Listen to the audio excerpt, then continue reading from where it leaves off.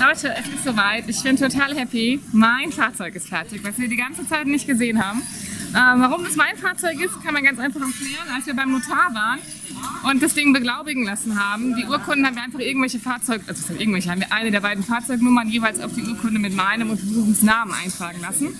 Und so hat es sich ergeben, dass das Fahrzeug, was die ganze Zeit noch nicht für uns wirklich sichtbar war, äh, mein Fahrzeug ist, was jetzt ähm, hier steht und äh, fertig zusammengebaut wird. Der Sitz fehlt noch und äh, ja, so ein bisschen wird noch äh, am Dachgepäckträger geschweißt, aber ich bin total happy, weil Leute, mein Fahrzeug ist fertig.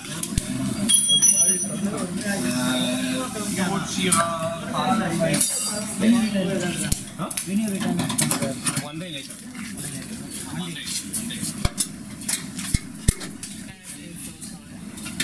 Watching temples? Watching temples?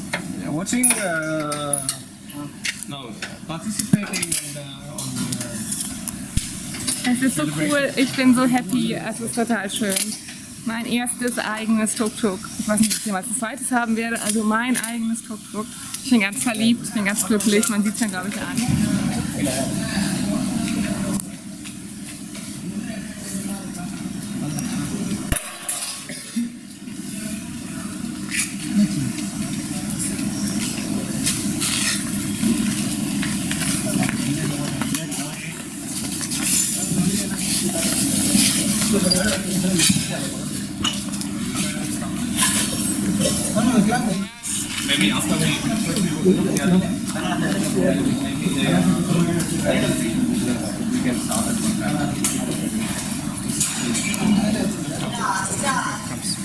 Nachdem wir jetzt am Spare Part Shop waren, ähm, fahren wir jetzt zurück zur Werkstatt. Ich bin total froh, dass ich gerade nicht mehr fahren muss, weil äh, ja, ich halte es immer noch für ein Wunder, dass ich die erste Strecke so problemlos geschafft habe zu fahren, zu blamieren.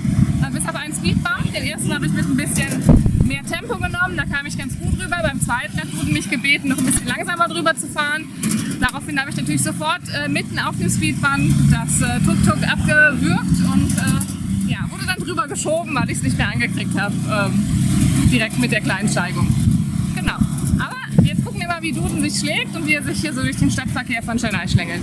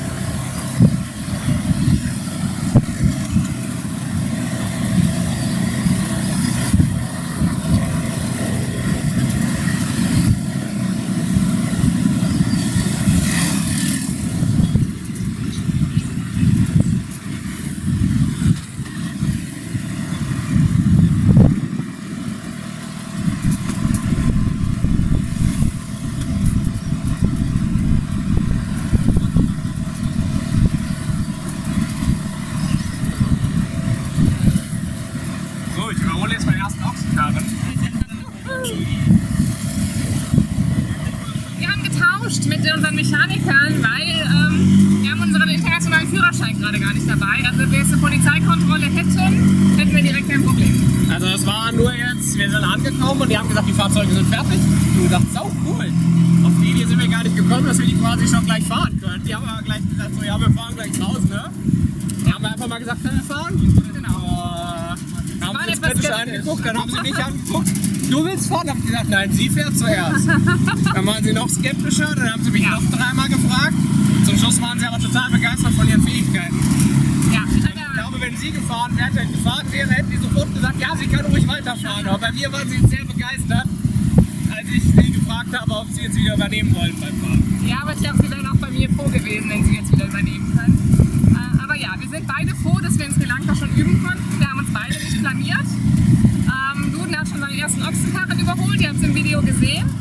Und äh, ja, wir fahren jetzt zum Spare Part Shop. Wir waren eben gar nicht beim Spare Part Shop, wie ich dachte, äh, sondern wir waren sozusagen beim Taylor. Ähm, Ja, der hat hier das nette rote, seht ihr dieses kna- porno-rote Dach hier? ja, Das hat der Taylor gemacht. das hat er uns reingemacht. Ähm, genau, dann haben wir noch ein bisschen mit der Familie von Taylor geschakert, waren echt süße Mädels da, die sich total gefreut haben, ähm, dass sie Europäer sehen und äh, direkt Selfies mit uns gemacht haben, natürlich im Tuk-Tuk. Ja, ähm, was lässt sich ansonsten sagen? Wir sind jetzt gespannt, wie es im Spare-Part-Shop aussieht, was wir noch brauchen. Und ähm, ja, der Verkehr wird immer dichter. Ich bin ganz froh, dass wir doch nicht mehr fahren müssen. Also macht's gut.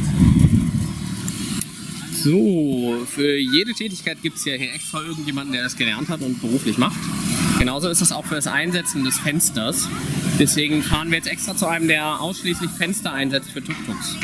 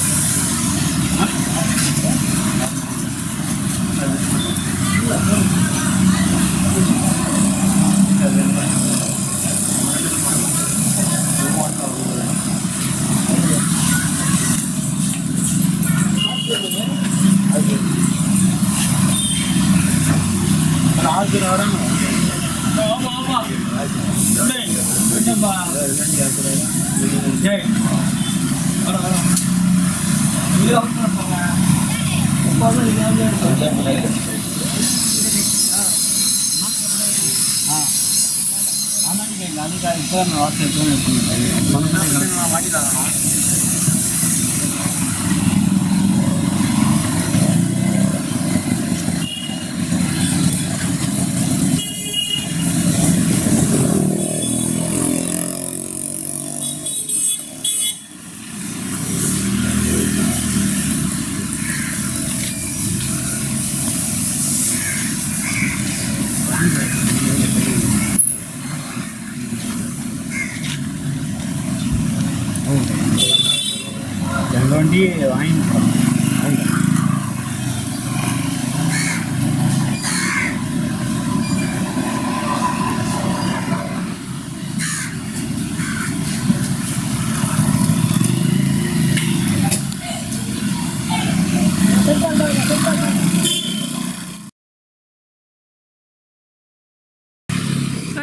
Chaos hört nicht auf, nachdem sie in, Tuk in äh, Dunens Tuk-Tuk Löcher gebohrt hatten, weil sie den Dachgepäckträger falsch festgemacht haben.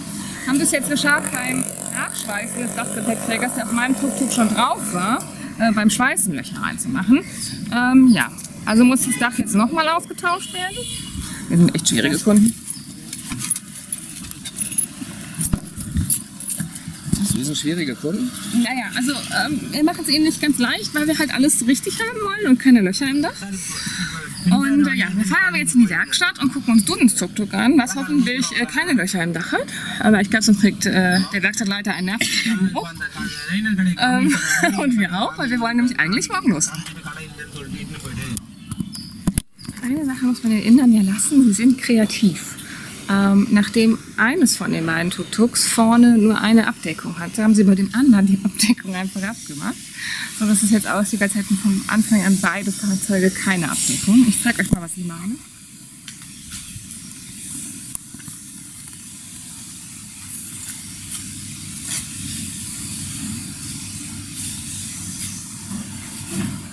Also es geht um dieses kleine Fach da, was ihr gesehen habt, was äh, ziemlich praktisch ist, wenn man die eigentlich abschließen kann.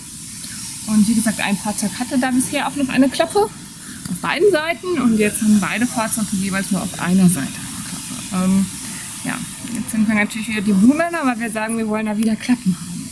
Ähm, ja, alles nicht so einfach. Die Jungs hier in der Werkstatt machen einen super Job. Nichtsdestotrotz glaube ich, dass sie froh sind, äh, wenn wir mit unseren Fahrzeugen abfahren. Ähm, weil wir doch immer wieder Dinge zu bemängeln haben, weil sie einfach nicht in Ordnung sind. So wie jetzt eben auch in meinem Dach mit dem äh, Schweißer wieder ein Loch reingebrannt wurde. Und ich möchte natürlich nicht mit einem Loch 15.000 Kilometer bis Deutschland fahren. Mal schauen, was noch kommt. Ähm, ist da das Dach jetzt ausgetauscht werden muss und heute Feiertag ist, weil Pongal-Tag ist, immer noch Pongal-Festival.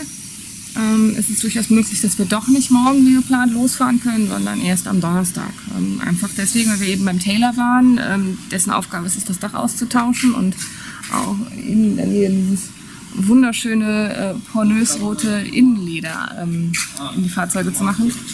Und äh, ja, der Taylor hat zu. Klar, ist Feiertag, würde ich auch nicht arbeiten wollen. Ähm, ja, ist auch für uns jetzt ein bisschen blöd, weil es wieder ein Tag länger, den wir im Elements Hostel verbringen. Es ist ein tolles Hostel, ich habe es euch gefilmt. Äh, nichtsdestotrotz wollten wir eigentlich seit einer Woche auf der Straße sein und das ist einfach gerade ein bisschen anstrengend. Genau.